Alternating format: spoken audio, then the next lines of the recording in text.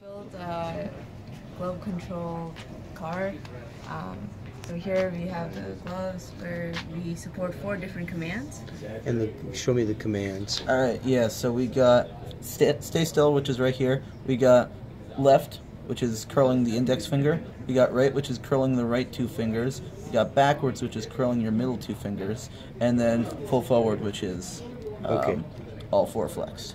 Okay. And so, and then there's a Bluetooth transmitter over there that's blinking its little red light. Yep.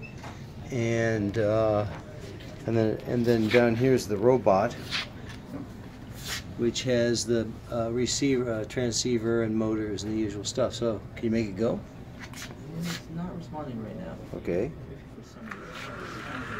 Okay. So, run it forwards now. Okay. Stop.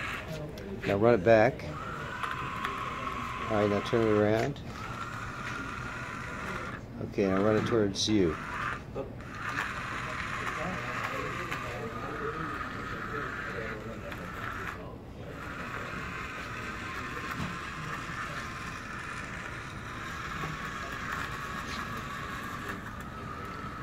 Okay.